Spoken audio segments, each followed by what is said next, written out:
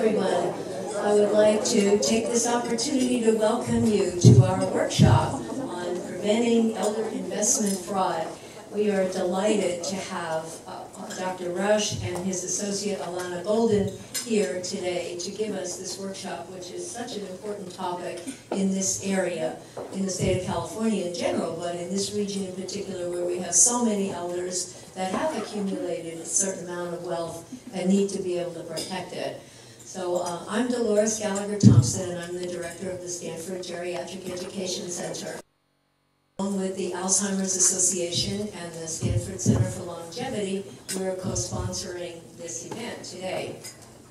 The funding has been provided by the Investor Protection Trust in Washington, D.C., which has funded a series of these workshops around the country to raise awareness and to give us all a lot of good information about how we can detect possible financial abuse or fraud, and then what can we do about it, particularly in more vulnerable elders, like those with some type of cognitive impairment, where it really becomes, can become a significant issue.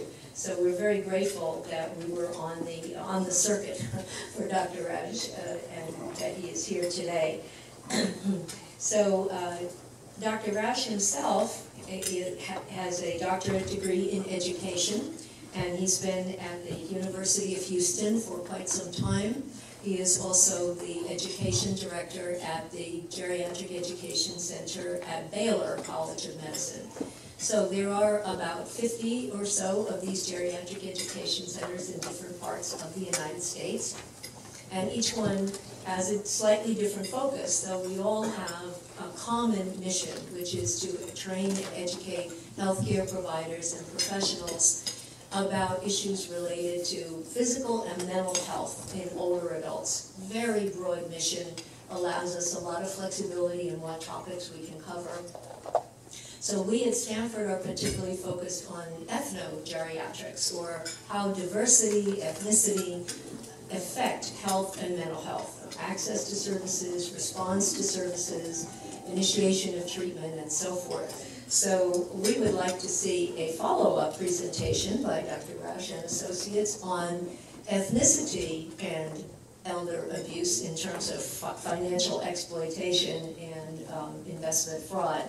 We think that could be the follow-up one, hopefully next year uh, at, a, at another conference. So Dr. Roush teaches medical students, residents, and geriatric fellows. He also himself conducts some of the continuing education programs uh, and is webmaster for the Huffington Center on Aging's web pages at Baylor College of Medicine.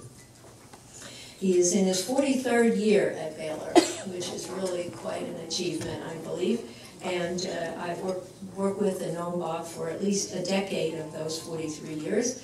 Uh, and I'm happy that his latest area of interest is how age-related changes make executive decision-making a lot harder, and how that also comes into play in this topic. So, so Dr. Roush, I think we are ready to hear from you. Thank you very much. Thank you for that wonderful introduction. It's uh, always a delight to be at a geriatric education center and places like this. Uh, I'm going to mispronounce it, the Lee, help me, Li Ka Shing Center for Knowledge. What a wonderful venue you have here. And uh, I've been uh, to Stanford a couple of times, but it's been a while. It's almost like uh, homecoming to see uh, Gwen Yeo and Marita and all my old Stanford colleagues, along with um, uh, Dolores, my newer one. And uh, particularly want to thank Dolores and her wonderful staff um, uh, uh, who helped us bring uh, get us here. And uh, Marion and Cynthia, where are Marion and Cynthia? Raise your hand. there, there they are. Give them a round of applause it been for them, uh, Alana and I'd still be driving around the Golden Gate Bridge probably trying to get here. um, before I start, let me uh, just um, perhaps pause a moment uh, with solemnity and say that uh, on any college campus, particularly one in the state of California, uh, I think we should uh, perhaps have a moment of silence for the tragedy in Santa Barbara of recent. So,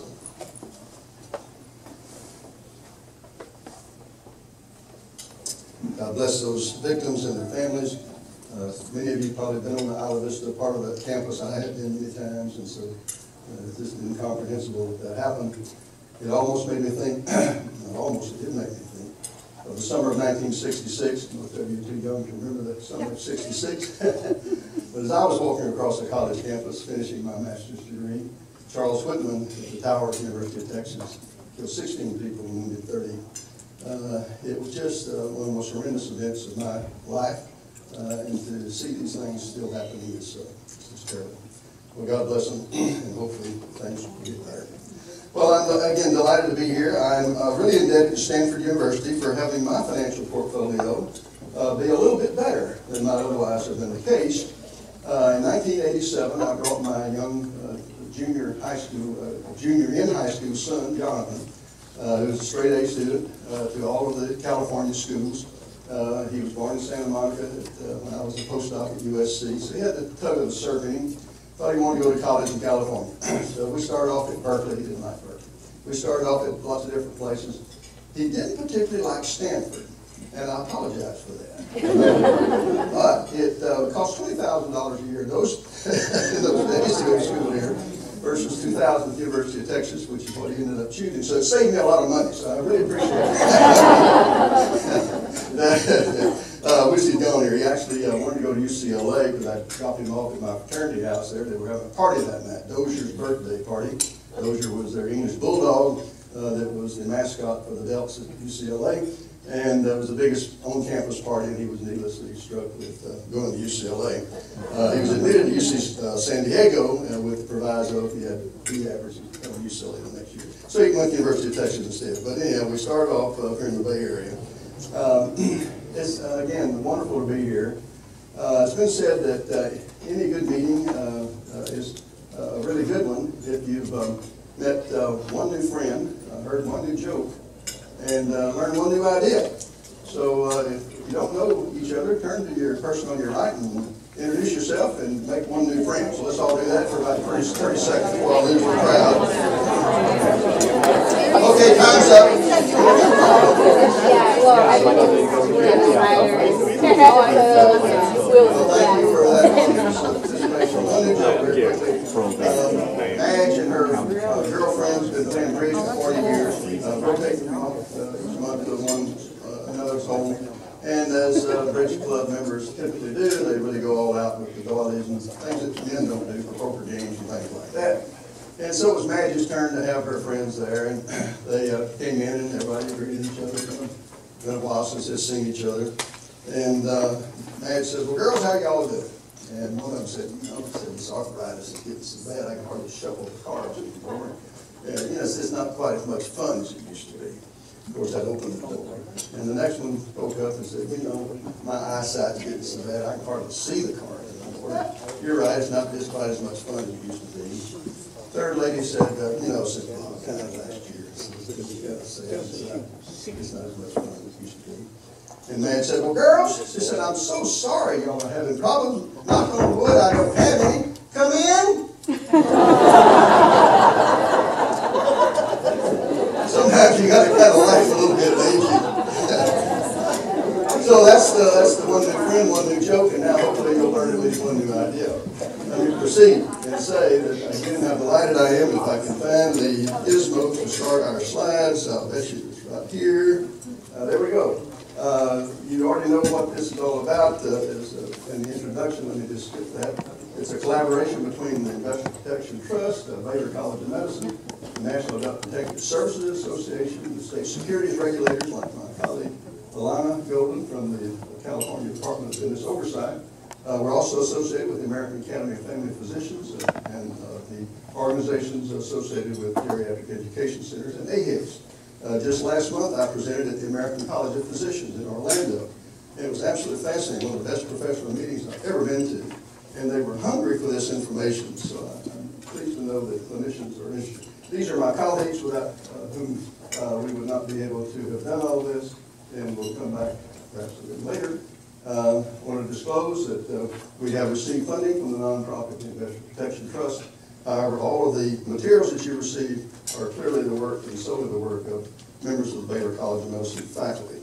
Um, Special thanks to obviously the Stanford Geriatric Education Center California Department of Business Oversight, and of course, the Alzheimer's Association. Thank you so much for this wonderful venue, wonderful meeting. Uh, Pre-test question. Which of the following conditions can contribute to some older people being financially exploited? A, Parkinson's disease, damage to the prefrontal cortex. C, mild cognitive impairment. D, recent death of a spouse. E, all of the above. Oh, you guys are smart, I'm telling you. Well, and you, the list could go on, by the way. But all of these things can contribute to some older people, not all, being more vulnerable to being financially exploited. Uh, so anyway, that's that. So what are our learning objectives for today? Hope that each of you uh, into this program will be able to list the key factors that increase older people's vulnerability to being uh, defrauded financially. Describe uh, common financial exploitation schemes and practices, and uh, know a little bit more about uh, where and to whom to refer patients deemed at high risk uh, for this problem. Just a quick look at statistics. You all know these numbers but they're still striking when you think about them, particularly uh, the number of people that are turning 65, 10,000 a day every day, and will do so for the next 16 years, uh, when all 77 million of those boomers um, attain the age of 65. I'm too old to be a boomer. I was born in 1942. That cohort is 45 to 2000, whatever it is, at, at 65 to. Uh, and um, uh, but uh, they, they've, they've recently uh, used the term the silent generation to people my age or older. I didn't know that the silent generation, So our goals today are simply to raise your level of awareness that this can be a problem for many of your patients and clients. In fact, I'd like to just ask for a show of hands. Uh, How many of you want to see older people in some type of a clinical setting or service type of setting? I'd like to have a show of hands. Almost everybody in the room. How many of you in the course of that work, of working with these people, have perhaps had a suspicion that something might be amiss in the area of cognitive impairment and involving financial fraud? A good number as well. Thank you very much for that information. Mickey Rooney died about, what, six weeks ago or so. Uh, We were using this up till now, we may have to stop using it because it's a little bit poignant. But he testified before the Senate Special Committee on Aging in March of 2011 talking about how he himself, uh, one time the highest paid movie star in the world, at age 90, had been defrauded by a family member. It was a very sad case. And as he, uh, these were his words, those seniors and especially elderly veterans like myself, I want to tell you this, you're not alone. You have nothing to be ashamed of. Elder abuse happened to me, it can happen to anyone. And in fact, that is really true. So, uh, God bless me. Uh, so what do we want to do? We want to raise uh, the issue that this is a vulnerable population, is large uh, and growing. Uh, Financial health affects overall health, we know that. Um, Almost a third of elders live within 150% of the poverty level, usually defined as around 15,000 or so dollars for a couple. Uh, How many of you could live on 1250 a month, something like that? Be kind of tough, wouldn't it? Well, that's about what uh, a good thirty some odd percent of older people do. This is the scary part. Uh, These are the future elders, uh, fifty years of age or older, not counting the equity in their homes, have about fifty thousand dollars worth of savings. Are they gonna have a good old age? Well, they can, but it's gonna be tough, and they're gonna have to really get involved to save more money. Uh, So even older adults with um, some money, a couple of nickels the uh, if they lose substantial amounts of money, they just simply don't have time to make it up. This stands to reason. I'm seventy-two years old. My son's forty-three. We both lose the same amount of money. He's got a chance to make his back. I don't. Uh, So usually, resources exist only after somebody's been defrauded. Uh, And that's important. We need to have that. But here's where we are today. We're trying to prevent it by raising the level of clinical awareness, showing you what you can do to screen for the types of things that we know can uh, place people at risk, and then refer them for further evaluation or for assistance. So that's what we're here today about.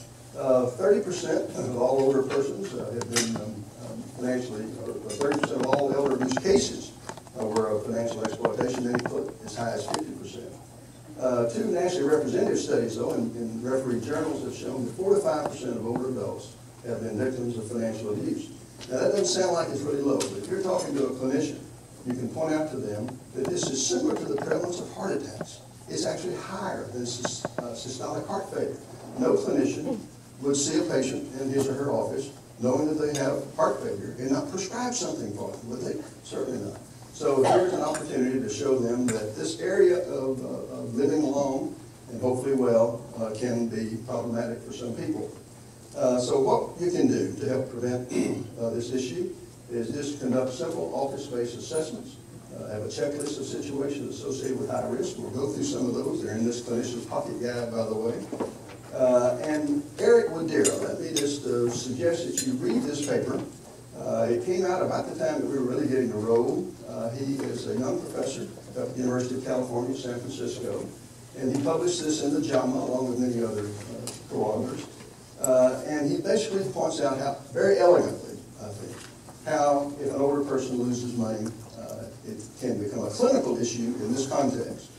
If enough money is lost, that it forces this individual to have to make choices between paying for out-of-pocket health care costs and just routine cost of living, shelter, rent, food, transportation. They have to choose the latter. They'll forego the farmer, and if they need therapy that they're not getting, if they need drugs that they can't afford, if all of these things conspire against them, they spiral down very quickly. We all know about homeostasis. We all know about all of these things about older people. And so financial loss can become a clinical issue. And Eric uh, really did a super job of pointing that out. Here's another thing that I really like about this program. Again, we all, every time you go to the doctor, even a dentist, they check your blood pressure. Uh, we're monitoring blood sugar. Uh, why not, let's discuss the dangers of financial fraud. Here's a little prescription for prevention, if you will, uh, to get the attention of people. So here are the important areas for EPI. I'll point out the last one is undue influence of others, and we'll come back to that in just a moment. Uh, I'm going to skip these uh, definitions that I think they're so self-explanatory. Uh, but stop on undue influence. When exploiters, whether family, acquaintances, or strangers, and by the way, my new friend, John Becker over here, I just met uh, 30 minutes ago, uh, told me about a, a piece in the San Francisco Examiner today, Chronicle, excuse me, uh, today about a, uh, a disgraced former Wells Fargo financial analyst selling uh, older people unsuitable products. And unsu- suitability boils down to this. You gotta know the person's age, you gotta know their capacity to understand the product you're trying to sell them, and you gotta know whether they've got enough money to put it at risk. If that person, and presumably he didn't know these things, but yet still sold these people products, that's a crime in Texas and in California and almost elsewhere. And so Alana and her colleagues uh, in Sacramento will prosecute this person. In fact, they already have.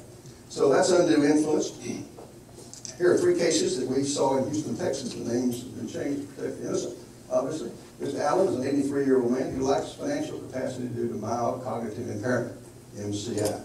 Mr. Allen has involved his son Stephen in some financial decisions. While Mr. Allen's a conservative investor, Stephen likes to take risks.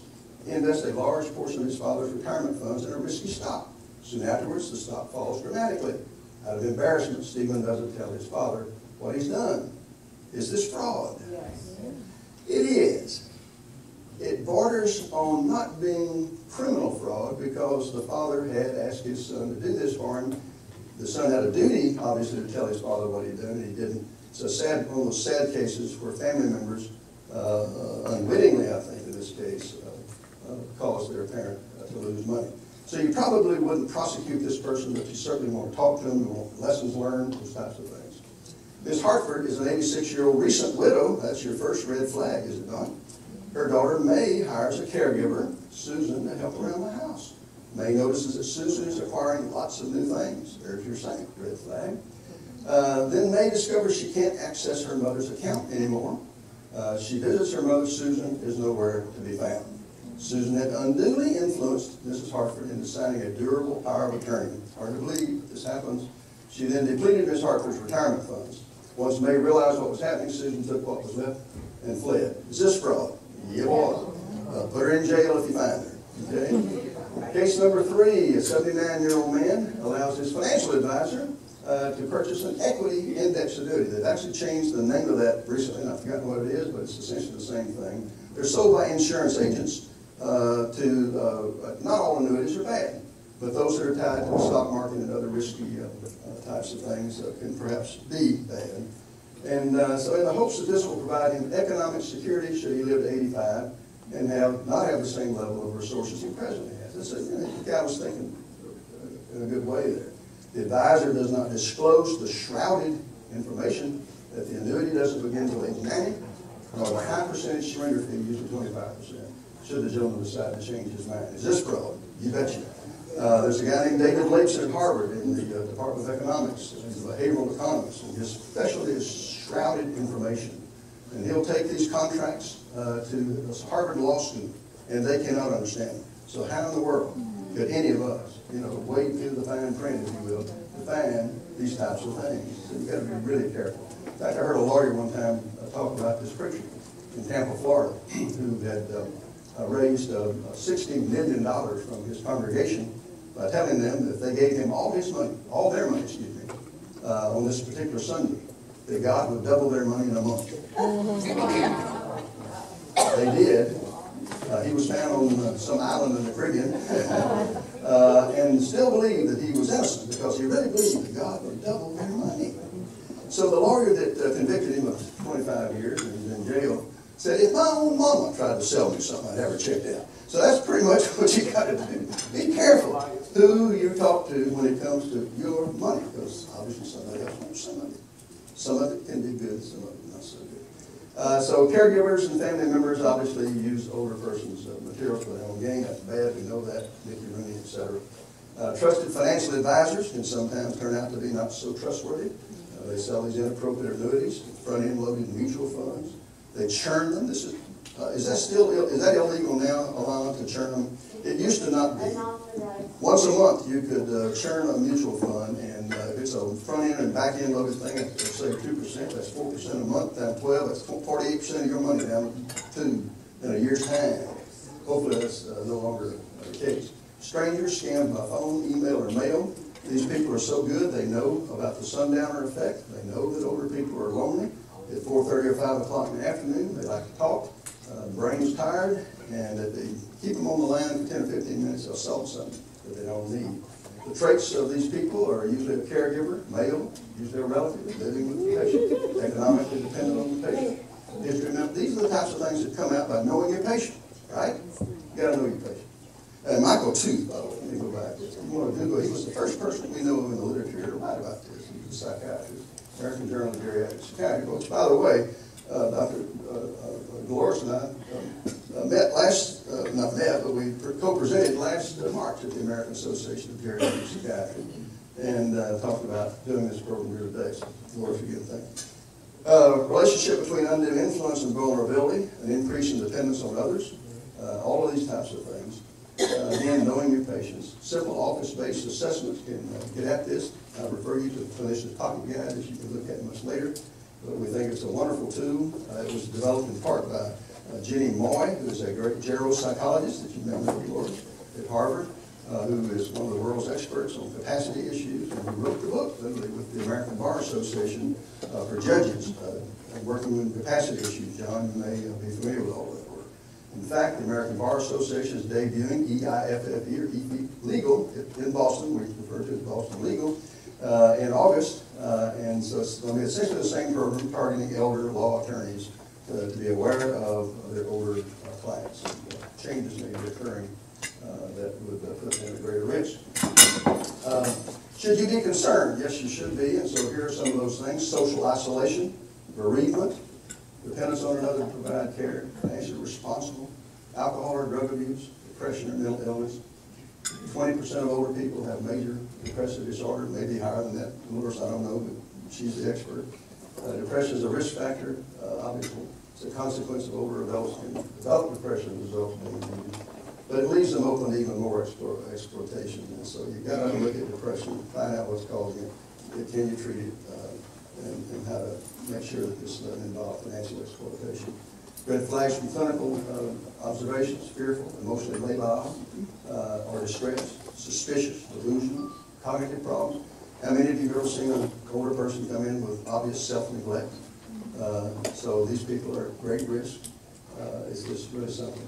Here's the scary figure. When we first started reviewing the literature, uh, Brenda Plassman is a wonderful epidemiologist at Duke University. She published the first paper you know of in the Annals of Internal Medicine uh, in March of 2008, showing the figures on a nationwide scale, multi-center trial, 35 percent 8.8 million people of Americans over the age of 71 have either already uh, acquired mild cognitive impairment or dementia, uh, and experiencing changes in executive cognitive functions.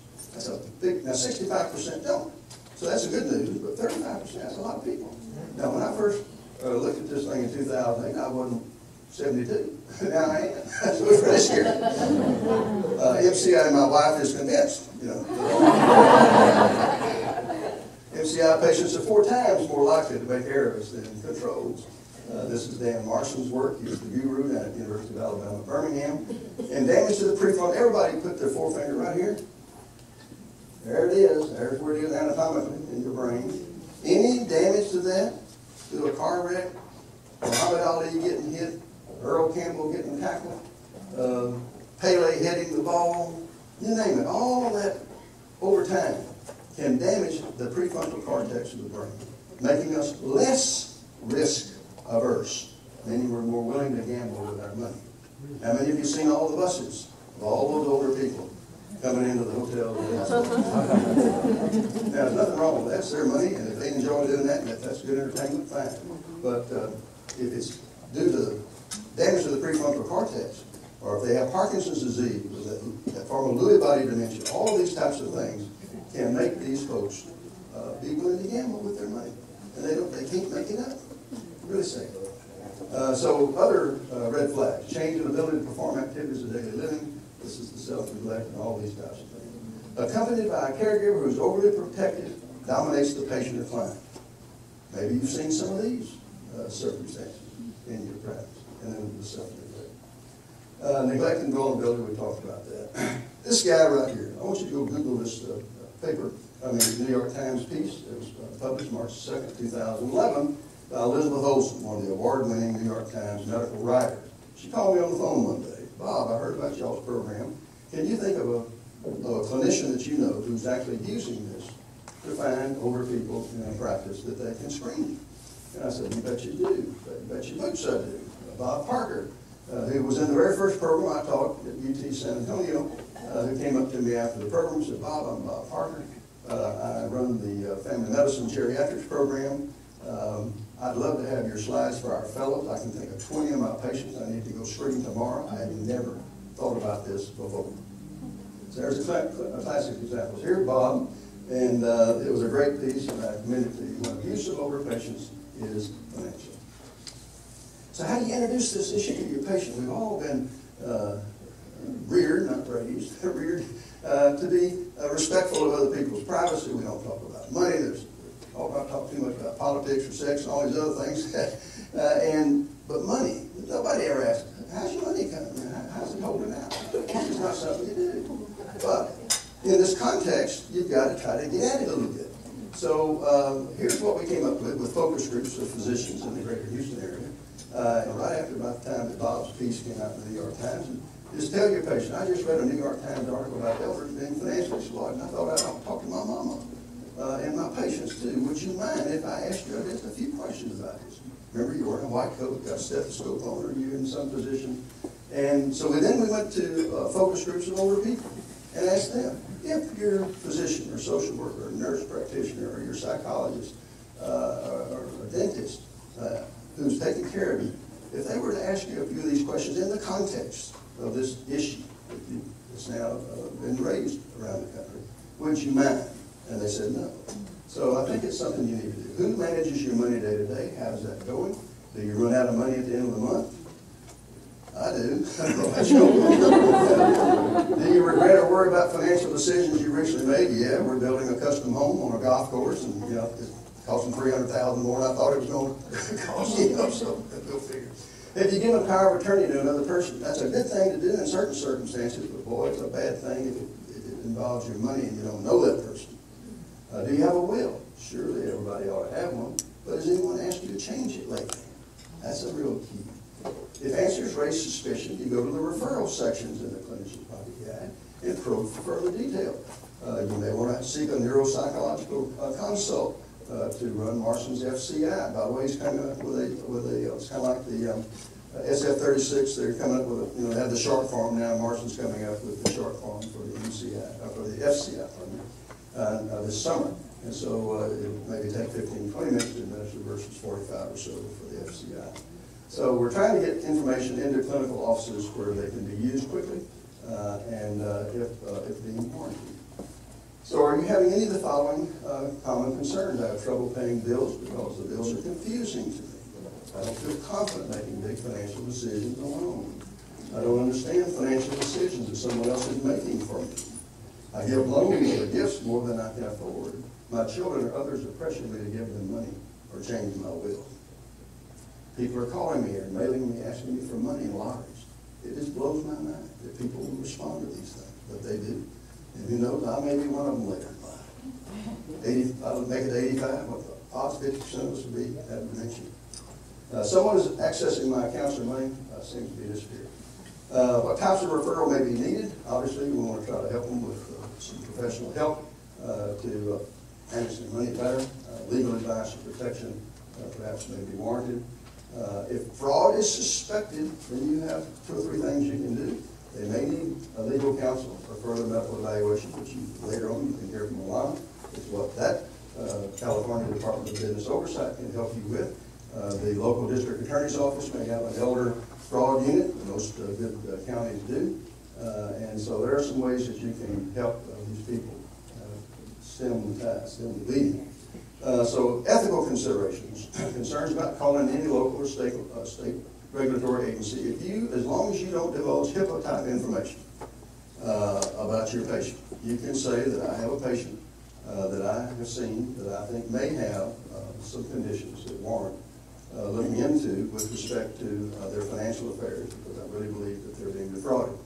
You're not in violation of any HIPAA violation at all by calling someone on a confidential basis such as Alana Golden and others to do this, the adult uh, APS and things like that. So, uh, do it. Um, Interactions with a possible responsible party that's from two, uh, use a non-confrontational demeanor, ask about the relationship with the patient, discuss the patient's daily activities and routine, discuss any of the patient's special needs.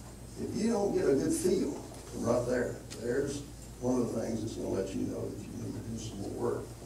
Observe for the following behaviors, meaning comments the defensive, suspicious attitude, hostility about your inquiry, and threat to change doctors. So, um, yeah, two is a good one to read. Here are some of the re- referral sources where you can find information. United Way, I have a two-one-one hotline number. I'm pretty sure y'all have that here. It's national. Uh, In Houston, Texas, it's twenty-four-seven. And if you call that number, and I personally done it, uh, they'll put you in touch with somebody from APS. So two-one-one. Uh, National Association of Professional Geriatric Care Managers. These are nurses and social workers who have, are bonded, who have special experience in working with older people, and particularly uh, financial uh, matters. The Case Management Society of America, another one of these organizations. And of course, the National Academy of Elder Law Attorneys, and now more recently the ABA's Commission on Law and Aging, which is a wonderful organization. So uh, referral sources where you live, California, uh, you're gonna hear from a lot of them a. So there you can uh, contact those folks. And then uh, if you need uh, more uh, geriatric and neurology and psychology uh, uh, referrals, you can certainly get them through the Stanford GEC. Uh, Also, can report to APS. There's the phone number in California, 916-229-4000. And you can do it online, it's very confidential, and hopefully you'll avail yourself of that if you think it's warranted. So what do you say to your patients, and kind of summing up this, get into Alana's section? Be aware of your own vulnerability, that's not just to the patients, that's to the providers themselves. We all uh, are trying to end up our careers with a couple of nickels in the bank, and we don't want to lose them, uh, because we're gonna need them. Be aware of who wants your money, be aware of how you can protect yourself, and be aware of who can help you. If you've got answers to those uh, issues and and questions, uh, I think you'll be a lot better off. Mark you're not familiar with Mark, he's a wonderful geriatrician at uh, Columbia University, New York, Cornell or Columbia? Well, is it? I think it's Cornell. Yeah, it is Cornell. Uh, is it? Um, Mark has written this book, Treat Me, Not My Age, but chapter 17 and 18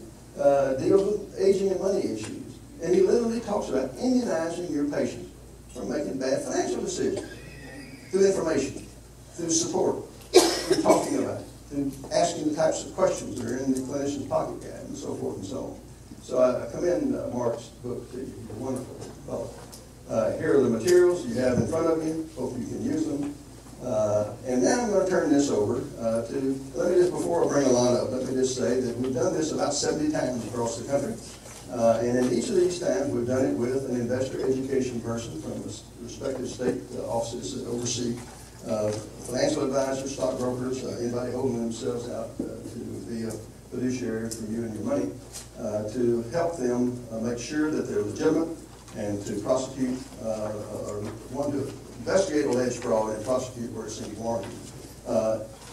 Each of you's heard someone like me before, but you've probably not heard from Alana before. Uh, The other audiences have not heard their state uh, securities regulators. So without further ado, I want to bring up Alana Golden. Alana? Um, My name's Alana Golden. I'm with the State of California. I work for the Department of Business Oversight. We are a brand-new department um, with a lot of experience, though, because Governor Brown merged two departments that were over 100 years old each. Um, The Department of Financial Institutions, which oversaw banks, credit unions, money transmitters, and several other types of financial institutions, and the Department of Corporations, which oversaw the securities industry and many other types of financial services as well. So although we were, were only 10 uh, months into the new department, we have over 200 years of experience. It is great to be here today. Um, I could have listened to Dr. Roush for all day. It's a, a very interesting topic. Um, we went through his slides so fast, I feel like we could go through them again and, and continue learning. And uh, thank you for the introduction. Thank you for inviting the department here today. I came from Sacramento. I enjoyed my drive. It's beautiful here. Um, I would have ended up going in circles and uh, may have missed you because uh, it's such a big, beautiful campus with a lot of new buildings and construction going on, but it's great to be here. And thanks again to Cynthia for making sure that I found you. Um, I'm going to keep things um, moving along by going into my slides, and then we'll have questions and answers at the end. So we start here with a slide um, with a senior couple, and they're going over their finances. It's very possible that they have actually experienced something that um, Dr. Roush was, was speaking about. Um, financial fraud can leave um, anyone in um, a, a very unfortunate circumstances.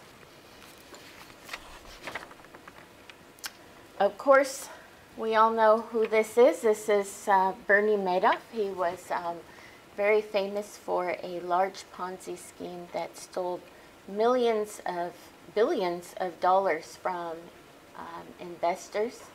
And uh, of course, these scams can affect anyone.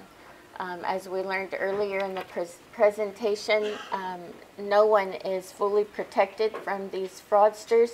Um, the rich, the poor, sophisticated investors, and the unsophisticated investors. And I like to use the term polite over timid because a lot of times it's just that we're polite. We like to be polite and kind. And um, a lot of times that, that makes us a victim. And uh, it can also be greed. We want more, and so we take these chances, as we learned earlier. And of course, the elderly who we're talking about today. There are no shortages of Bernie Madoff types, um, these despic- despicable um, um, fraudsters that are out there. There are also no shortages of the victims. I just wanted to read to you just a few very recent SEC headlines um, to prove this point. SEC obtains asset freeze and other relief in $4 million offering fraud. SEC halts ex Marines hedge fund fraud targeting fellow military. How about that? SEC charges Ponzi scheme promoter targeting primarily African American churchgoers. Disgraceful. SEC charges company and its owners with conducting an offering fraud targeting Christian investors. SEC shuts down Ponzi scheme targeting Persian Jewish community in Los Angeles. SEC halts affinity fraud aimed at the Hispanic community.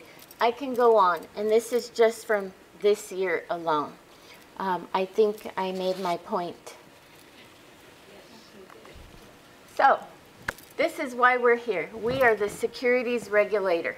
It's a responsibility of our department, and we take that responsibility very seriously. So, although I'm speaking to you in a friendly um, and polite way, we can be tough. Um, believe me. Um, you read those, I read those headlines of the SEC. The department goes after these criminals um, every day. That's what we do. They're out there, they're active, they're looking for their next victim, and we're right behind them. And with our federal regulators, we will catch them and prosecute them. Um, the department, in addition to providing protection to consumers, we do also support business in California. We are business friendly. We want people to be licensed. This way we can regulate them. Um, so we have over 360 licensees. It's actually close to 365,000 licensees today. That's because 284,000 are broker dealer agents. We want them to follow the law. 51,951 investment advisor reps. We want them to follow the law. We also um, license mortgage loan originators, uh, payday lenders, finance lenders, escrow agents, mortgage bankers, state chartered banks, credit unions, and uh, money transmitters. We have a lot of licensees and we expect them to follow the law. So our role, we license, we investigate, as I've mentioned, we enforce the security laws and all of the laws that relate to our other licensees. We examine, that's when we go out into a, a business or a financial institution and we make sure that they're complying with the laws.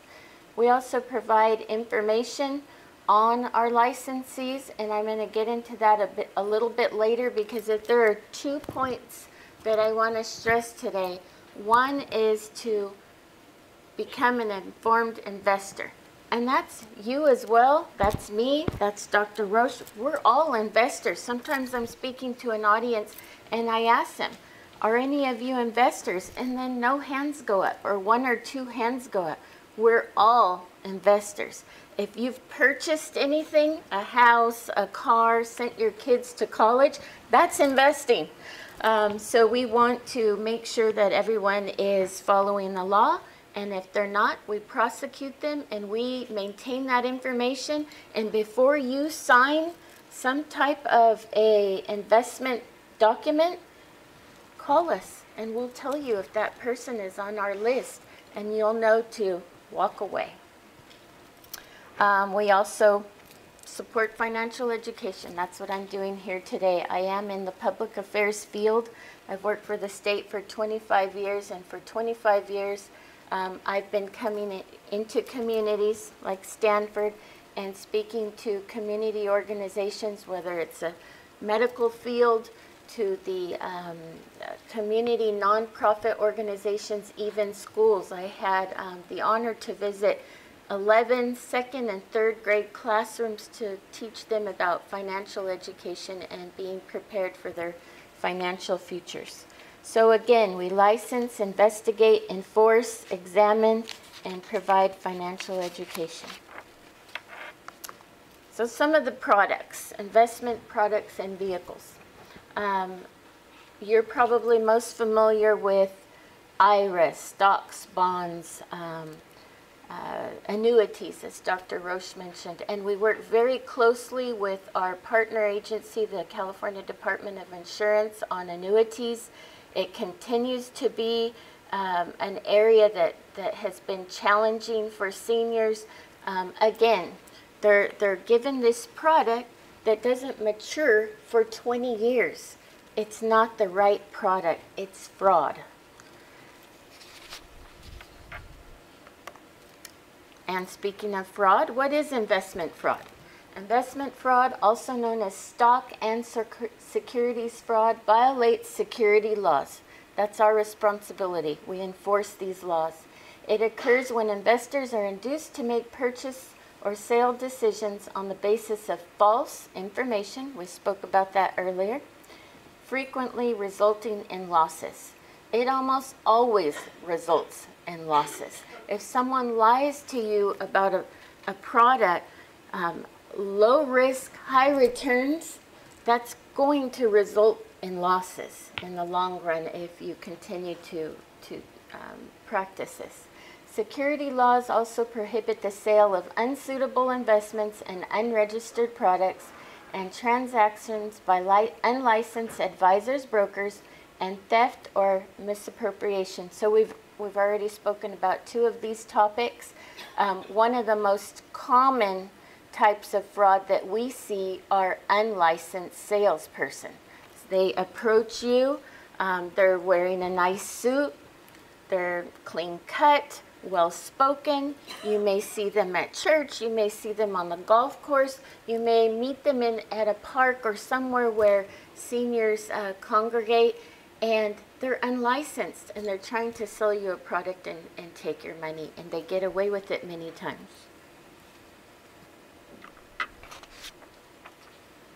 So, who needs to be registered to sell securities? That would include brokerage firms, also known as broker dealers. We license them. Um, investors maintain their security accounts with these firms, and brokers are not fiduciaries. We'll talk about that in a moment. Securities salespersons, also known as stockbrokers, work for brokerage firms, individuals with whom investors deal directly when effecting transactions in their accounts. They typically receive commissions when investors purchase or sell securities. So broker dealers must be licensed. Stockbrokers must be licensed. It's the first thing that you want to check when you go to to consider an investment. Are you licensed? Let me see your credentials or call the department and we'll let you know. And again, we'll also let you know maybe they are licensed but they've had some disciplinary actions. Who needs to be registered to sell securities? These are investment advisors. So another group that must be licensed. Um, they're actually registered. So it's a little bit different of a process from, from, from some of our licensees. A person or business entity engaged in the business of providing advice, making recommendations, or furnishing analysis regarding securities. Advisors are fiduciaries. Clients' best interest is first. So this group, they are allowed to make financial decisions for someone. Um, the other groups are not. It's very separate. Um, another important thing to know is how are they getting paid? Are they fee-based only? Do they make commission? Both? Do they make commission on every transaction? That's where we get into some of the churning issues, which we'll, we'll talk about in a moment. What you should expect from an advisor, and uh, I'll probably tell you this multiple times in my, my presentation, it's not uncommon for someone to contact the department with a complaint, and of course that complaint is about money that they lost in an investment and then they have no documentation. They just took someone's word for it, signed a piece of paper, didn't ask for a copy even after signing. So they asked for nothing up front and nothing at the end. And how do we help them? It's it's uh, like solving a puzzle, trying to figure out who they gave their money to, how they gave them the money, when, um, and and how to trace that person. So an advisor uh, should provide full disclosure. Um, you're entitled to complete and accurate information about an advisor and any securities they recommend to you. Information on risks, obligations, and costs. If someone tells you, well, you know, the return on this could be high, but it's very risky, aren't you going to think differently than if they only tell you part of that or none of that? Investment to be suitable based on experience, finances, and age. So again, the suitable factor. If it, if it, if you won't see the return for ten or, or twenty years, and this is, um, our, our seniors that, that we wanna protect, they're eighty-five, chances are they're not gonna see the maturity of this product, so it's unsuitable monthly account statements, um, again, many times, people don't have them. Um, timely access to your funds, so if, if you want to know something about your funds, that should be delivered to you. And prompt attention to problems and complaints.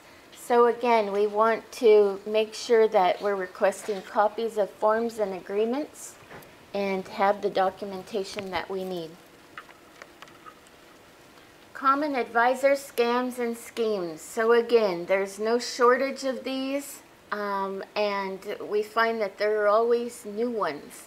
Um, I was speaking to my new friend. We have the same friend, Dr. Roush, and we were talking about how we can't believe that people continue to take advantage of vulnerable groups this way, and how do they go home in the evening? How do they sleep at night?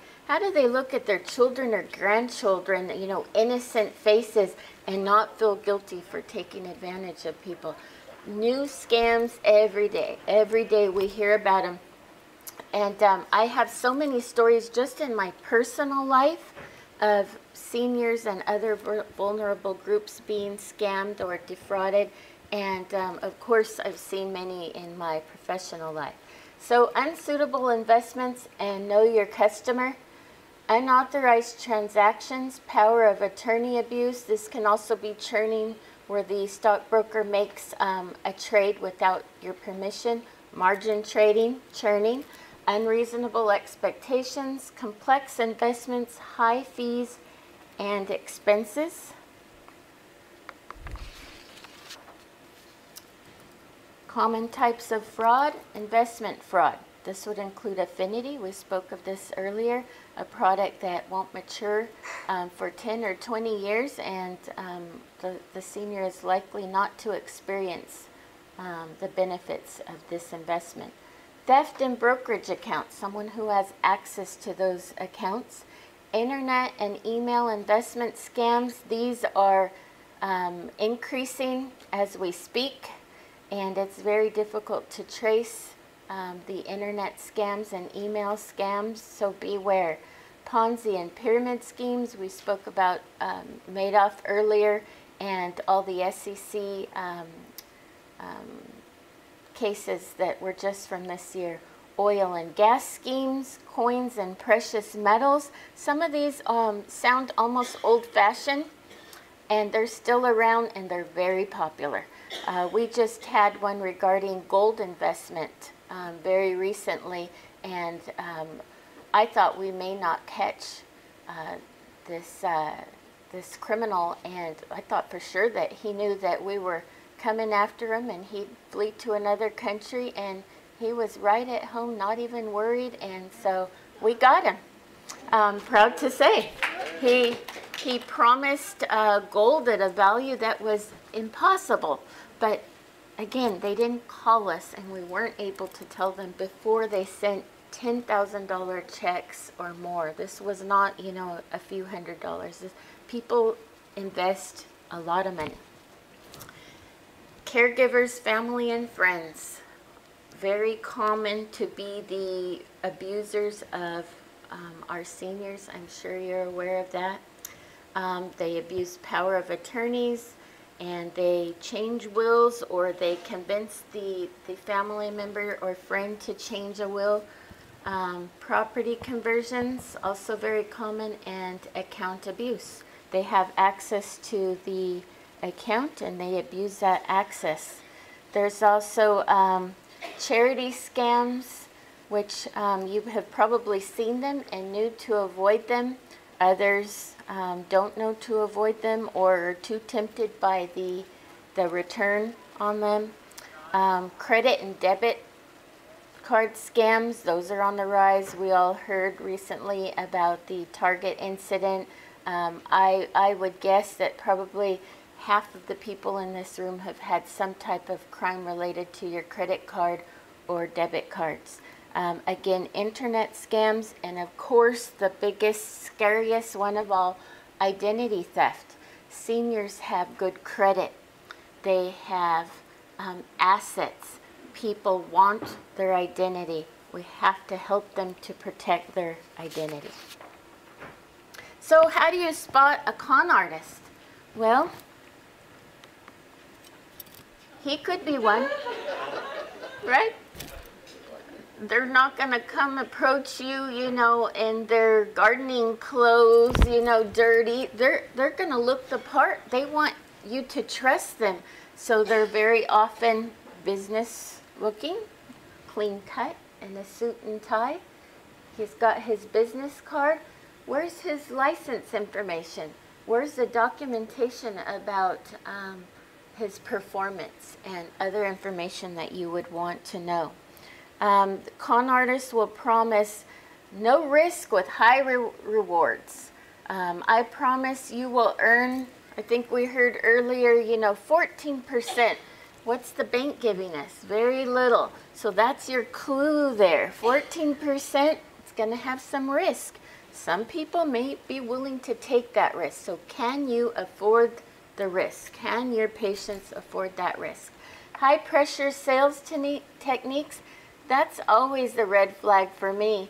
As soon as they start pressuring me, whether it's you know buying a car or a pair of shoes, I walk away. I'd rather go somewhere where I'm making the decision. You're not pressuring me. I worked hard for this money. I also want to save my decision. Spelling and grammatical errors, we'll see this quite often when consumers file a complaint and we ask for documentation. The documentation looks like, you know, a third grader created it on a typewriter. It's not professional.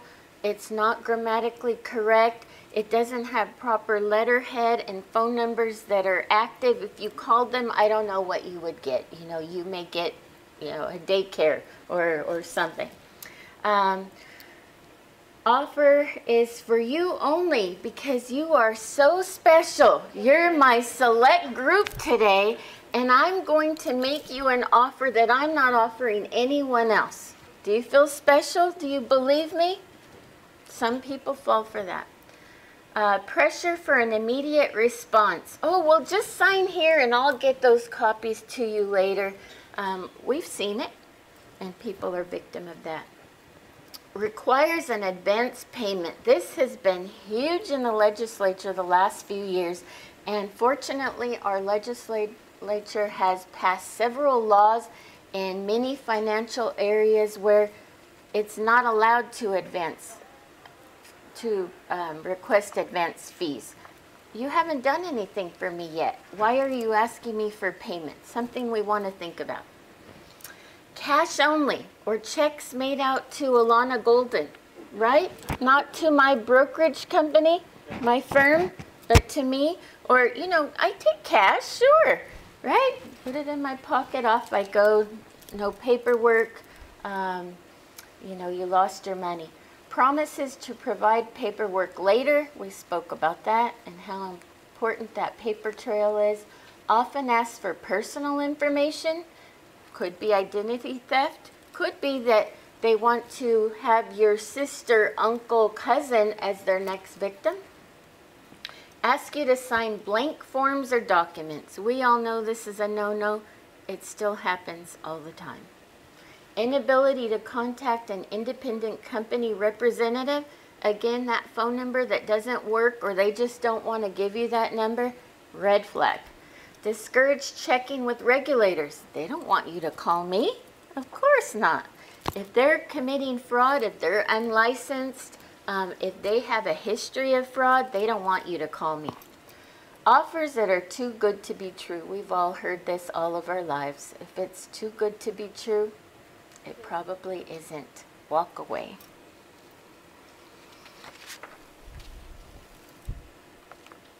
Self-defense tips. Um, we provide these um, in one of our, our materials and some of the materials that were handed out today. Um, I'll just go through a couple of them. It's the most important one is probably the first bullet before you buy. Check the background of anyone trying to sell you securities with your state securities regulator. Again, that's the Department of Business Oversight. You can call us. Your patients can call us. We have a toll-free line that's answered by live staff who understand our licensees and the laws, and they can guide them. They can provide them background information. Um, they, they can't tell you what to do, but they can give you enough information that will help you to do the right thing. Um, let's see, some of the other ones, uh, very common for the Ponzi schemes is never invest based on reputation or word of mouth. Reputation and word of mouth are just one thing that you need to determine if this this uh, salesperson is going to be right for you and the product is going to be right for you. Just because he's a family member of someone at your church or someone at your job or in your neighborhood does not mean that it's a good um, investment. And uh, again, one of my favorites is we tend to want to be polite. We're listening to this person on the phone, or maybe it's face to face, and we don't want to be rude. Hang up, tell them you have to go.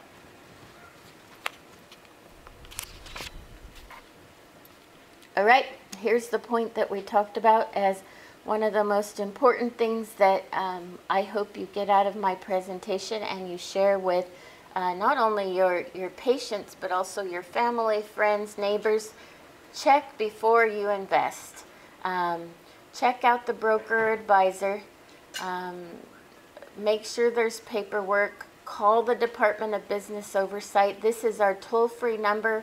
It operates from 8 in the morning to 5 in the evening. Our website operates, of course, 24-7 and is um, has a wealth of information for the potential investor.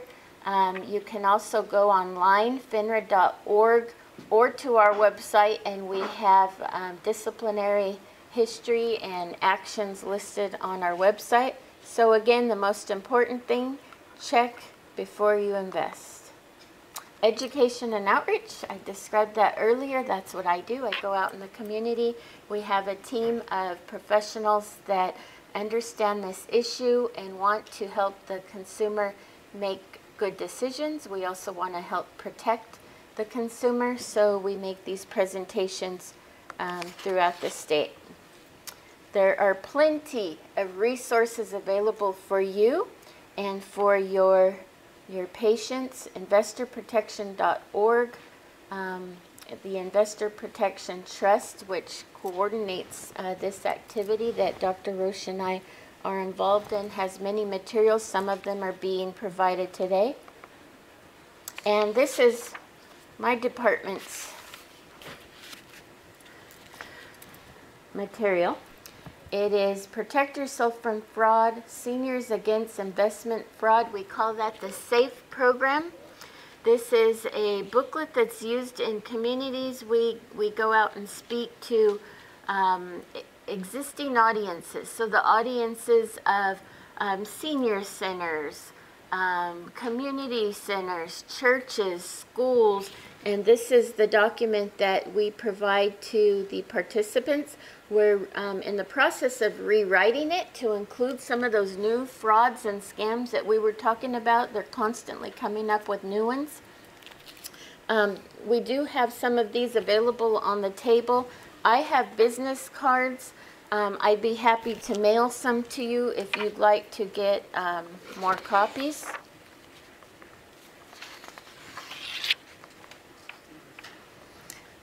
I thought I would mention that we are using social media.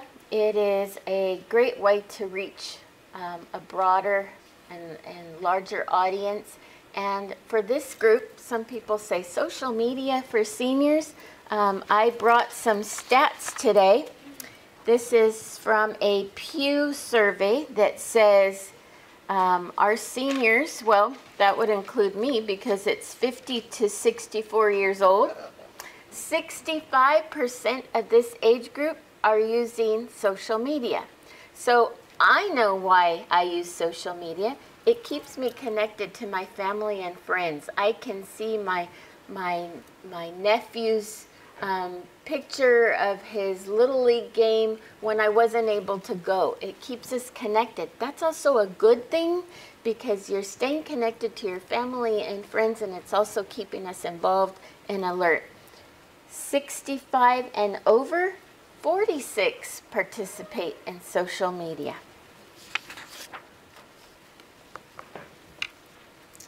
Filing a complaint. So this goes back to the Department of Business Oversight. What we'll need from someone who wants to file a complaint is a paper trail. We spoke about that earlier. Sometimes there isn't one, so it's very difficult to um, help with this complaint. Documentation is critical. Um, we'll need some of the facts about um, what took place for that complaint. Our complaint process is on the web, dbo.ca.gov under the consumer tab. Here's an image of our website and a senior who can use the very easy to use complaint process on our website. And the last slide, back to being polite and nice. We all want to be polite and nice. So I like this photo. It, it came from um, a brochure produced in Georgia, the state of Georgia. And this is Edna and Bob. Don't they look sweet? That's what the, the criminal thought. And he tried to approach them with a low risk investment with high returns. What did Edna and Bob do? They told him to stick it in his ear. Politely, with a smile. um, I think my time is about over. This is my contact information. Again, that toll-free number that you are welcome to use, your patients are welcome to use.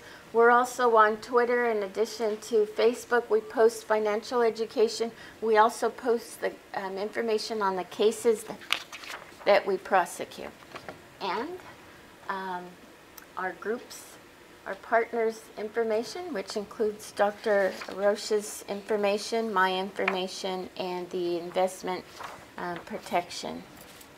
Um, one last thing, I also did bring information on our department if you'd like to see again who we license, who we examine, um, and who we discipline. Thank you very much.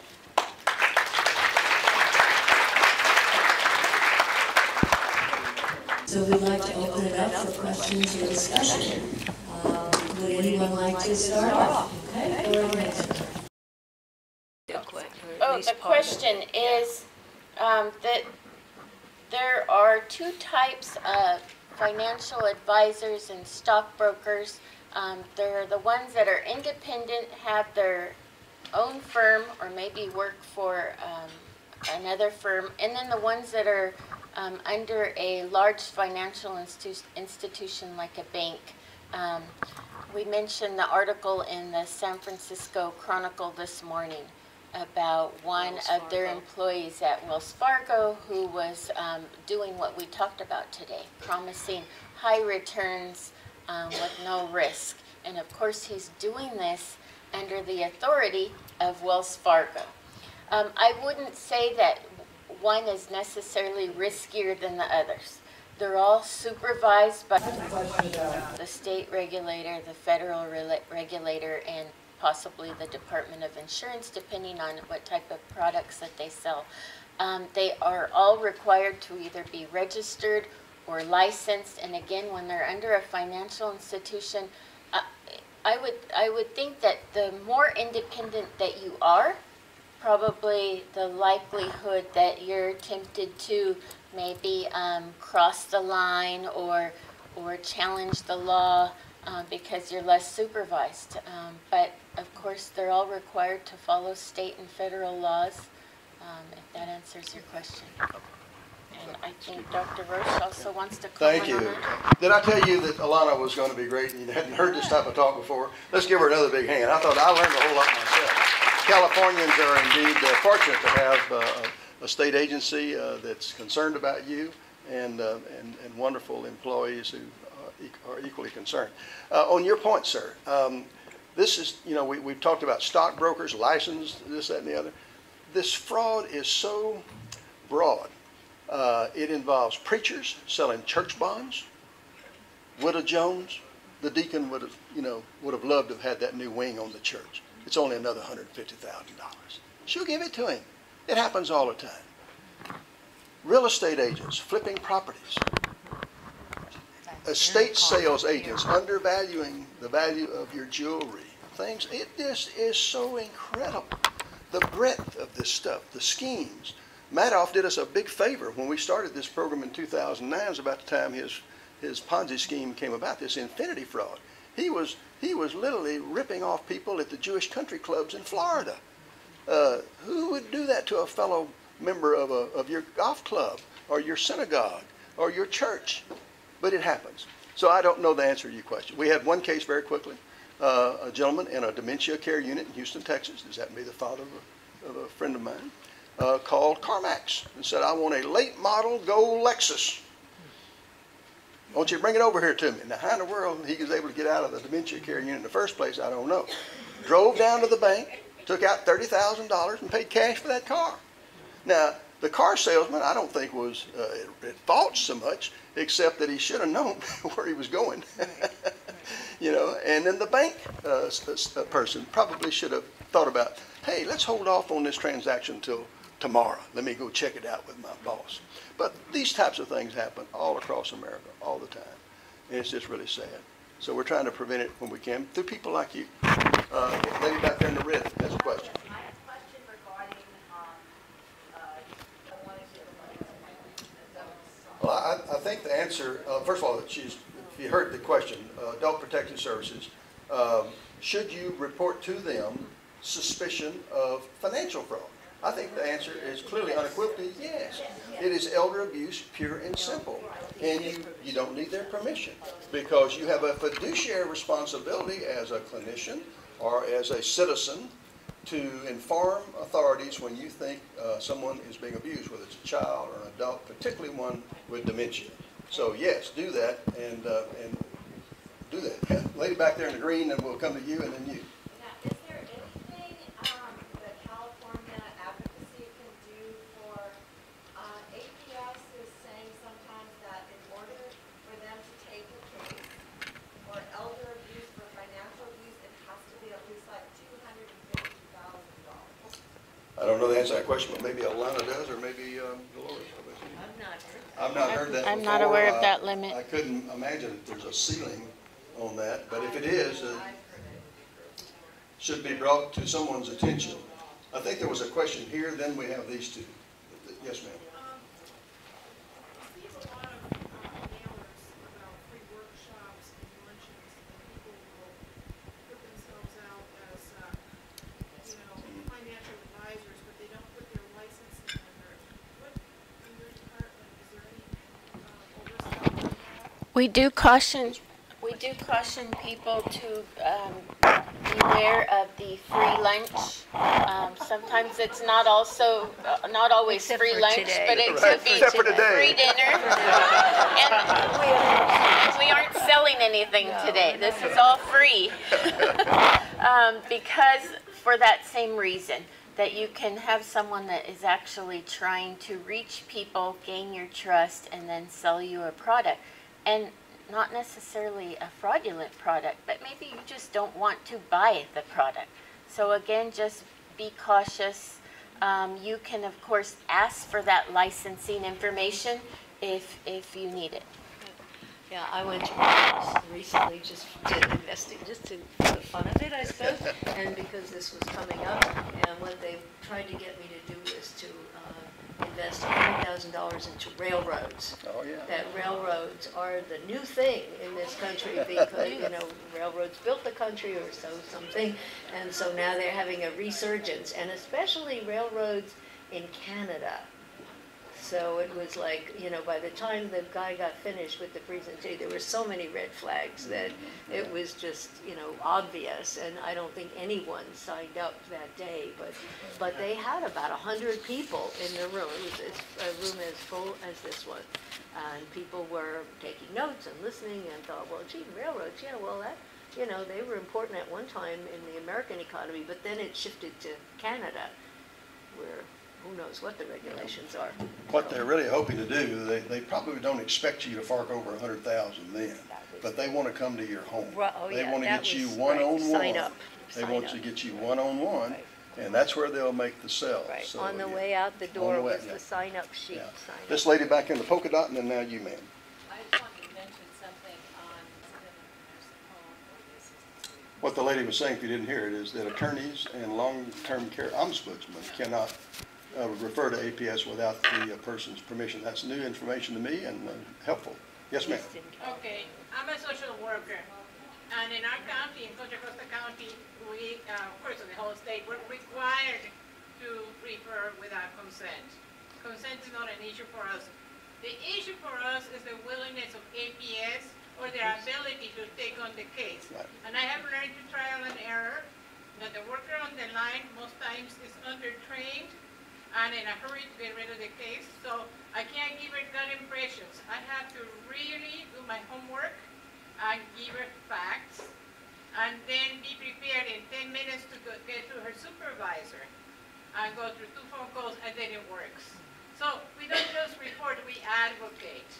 And if we don't do our homework and we don't discipline ourselves to gather the facts and present with as much factual information as we can, even by comparing your guts with your experience and what you're seeing, it won't work. This lady is a social worker, and you heard her say that, uh, that you can't just stop with one phone call to APS. You have to persist. They're overworked, they're understaffed, like uh, most of us are, and it's a very, it's, it's something you just have to really not do. I wanted to say in closing, are we about through? Yeah. Yeah. That I felt so badly today when I followed Alana over here. Uh, I had rented a medium-sized SUV, but I had to follow her in her Prius plug-in hybrid. And so I really, I'm outing myself on my eco, lack of eco stewardship, but thank her for coming. I, I wanted to make one, Okay. I wanted to make one quick reminder that if we're talking about financial elder abuse related to anyone that should be licensed, you can reach out to the regulator first. So if you're struggling with the other processes, please call the Department of Business Oversight. And if we're not the regulator, say it's the Department of Insurance, we will help you with that. We will work with a financial institution that is under our jurisdiction to resolve the matter. So it's also um, another route that you can take if the APS route isn't um, working for you. Okay. So again, thank you so much for all the wonderful information and for the reaching out. Uh, And I want to remind everyone before you go, please, to complete our evaluation forms, okay? There's one that says evaluation on top, and there's another one that is our participant information form. And we really need those. We need the feedback on your evaluation. We need the participant information to be able to continue the work of the Stanford Geriatric Education Center. So again, thank you very much, and another round of applause for all speakers.